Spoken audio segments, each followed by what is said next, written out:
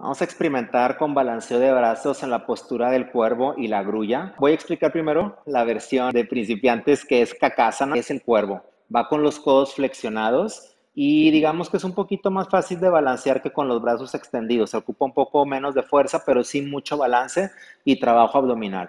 Si tienes duda para esta postura, por favor utiliza un apoyo. Yo puedo poner aquí este colchoncito por si me voy de cabeza, eh, lo puedes utilizar porque eh, a veces se pierde el balance hacia enfrente, a veces se pierde hacia atrás, así es que puedes llevar tu peso hacia enfrente con seguridad si es que utilizas un colchoncito. Vamos a poner nuestras manos al ancho de los hombros y llevamos nuestras rodillas hacia afuera. Tengo los pies muy cerquita y las rodillas hacia afuera. Me voy a subir a los tríceps de esta forma, creando un resorte, ¿sí?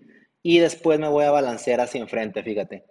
Hacia enfrente, hacia atrás hacia enfrente, hacia atrás.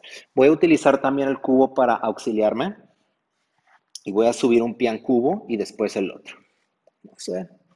aquí, subo un pie al cubo, vista al frente siempre para que la espalda esté más larga, subo el otro pie al cubo.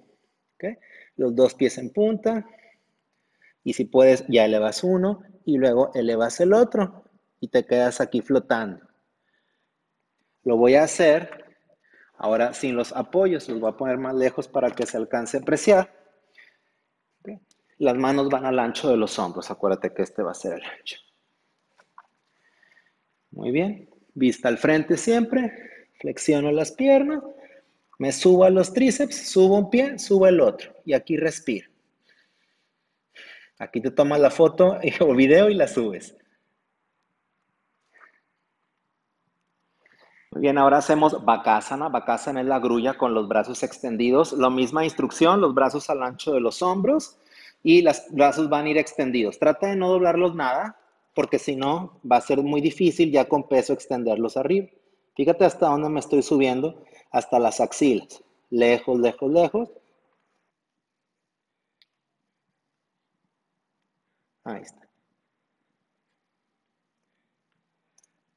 Excelente, muy bien. Ahora voy a hacer una un poquito más, ah, ocupa menos fuerza de los brazos, más fuerza abdominal y ocupa más flexibilidad porque es capada con una pierna para arriba.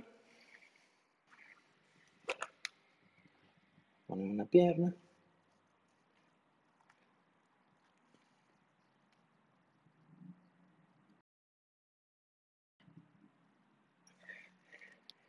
Excelente. Cualquiera que sea la versión, que te sientas cómoda, cómodo.